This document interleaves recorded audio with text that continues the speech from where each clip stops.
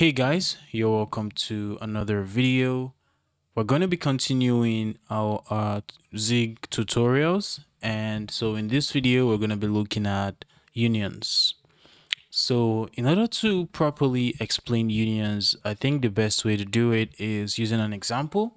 So say we want to create a function that will calculate some result and give a return that result um, but the issue is the result that we want to be returned is dependent on the input that is passed into the function. So what i'm trying to say is say we have a calculate function that has an input say the input is an is a u8 and we're gonna omit the return type for now. And now we're gonna have a switch statement on that so we're gonna switch on the input basically. And so we could say that here if we return say the input value is zero then we're gonna want to return let me just put the return statement here.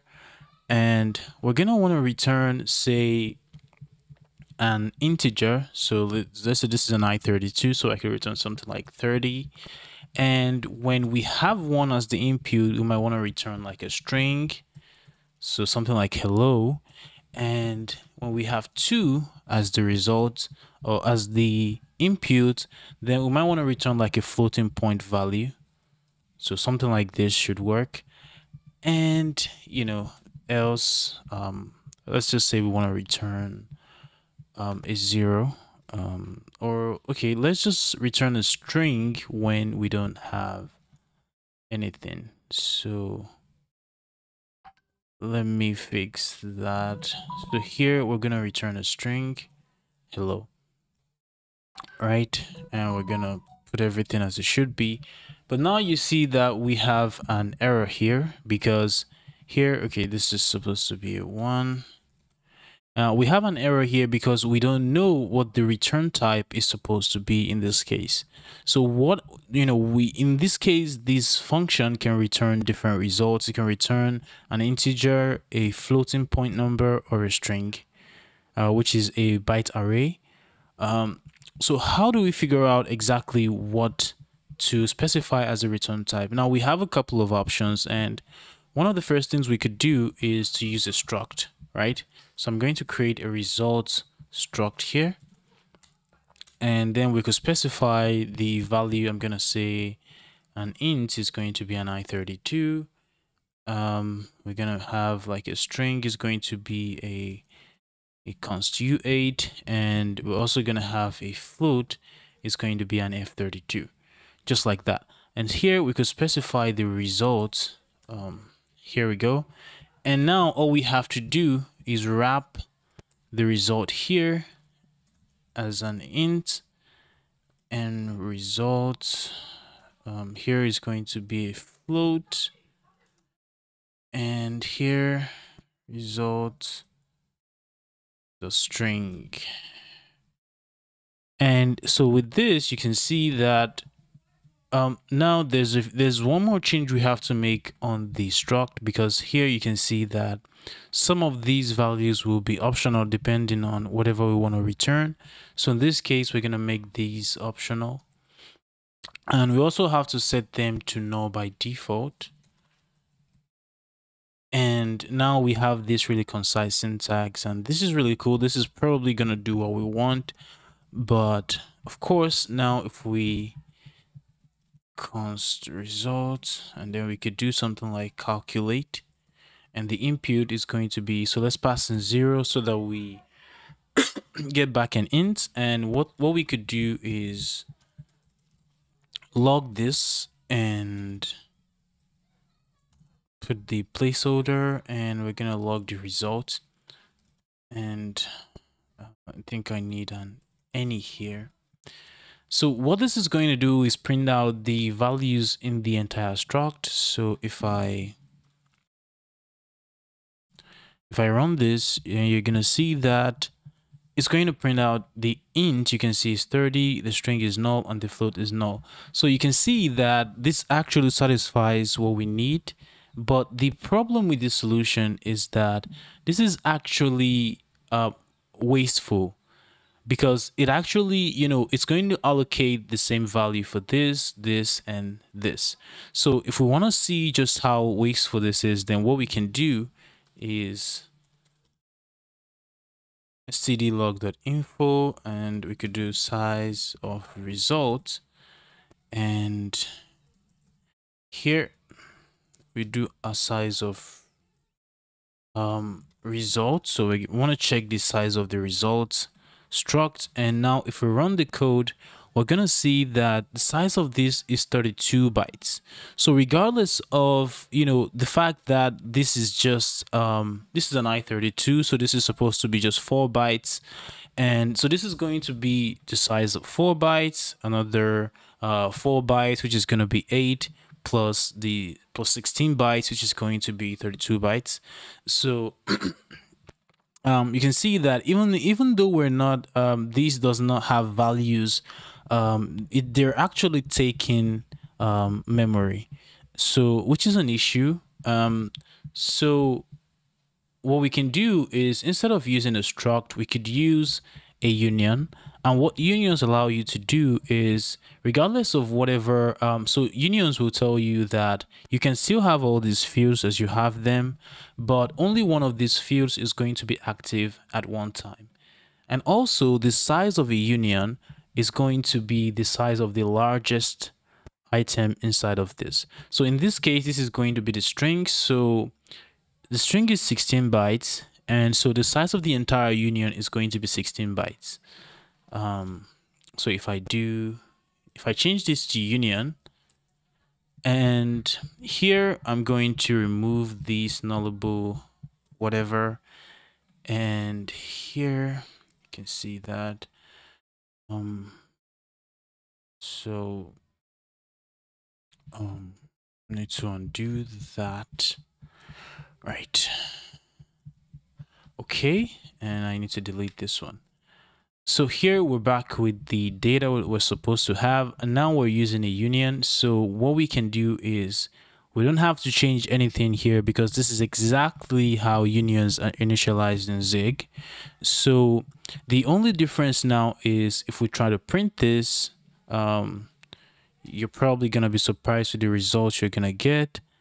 And you're going to see, first of all, that the size of our results has shrunk down from 32 to 24. And the question you might have is, wait, why do we have this to be 24 instead of 16 as I've said earlier? And the reason is because there is something called tagged unions, which we're going to be talking about in a bit. And so Zig in debug mode is going to tag this union to know exactly what type is currently active at any time, at any point in time. So speaking of being active, let's take a look at how this is done. So in this case, we're going to do results dot int to print out the value that we just got. And so here you're going to see that we get the 30 as we expect, right? Now, what happens when we try to access the float value or the string value? So if I try to access the float value, for example, I'm going to get an, an error from Zig. So you can see we panic and it says access of union field while field int is active. So you can see that we cannot access the float field because the int field is currently active. And that's exactly what it tells us here. So the result that was given from the calculate function is for is for the int field of the result. So only int can be checked, right? And so that the reason why we have the 24 bytes in the size of the union is because there's a tag, there's a hidden um, size tag or tag that specifies exactly what field is currently active in the union. And so if we build in release mode, the size of the union is going to be 16 bits. And so the, the question now becomes, how do we know exactly, so let's say we call this function with some variable that we don't have control over. How do we figure out exactly what, um, what, which, which part of the union is currently active basically? So how we're going to do that is using tagged unions. So tagged unions are useful uh, because they allow us to figure out exactly. So so so this is similar to like Rust enums. Uh, Rust enums are exactly how tagged unions work, and you can just figure out exactly. Uh, let me just show you an example and stop ranting about nonsense. So here, what we're gonna do is again, we don't have to change much. We just add an enum here just as you can see and this is all we need to add to be able to make our unions tagged we just specify an enum inside of the parentheses for our union and we have tagged unions. And so what this allows us to do now is we can we can switch on the results and we can check which one of the results is actually uh, what we're looking for. So we can do something like result.int and or we can even make this easier by doing dot int which is the short form syntax from zig. And so we have the dot int and we could um stdlog.info and here we go. Let's put that in there and we could print out the result.int because we now know that the value that we need is this. Oh, and one more thing we could also do is do the um, capture. So, so we could capture the value here.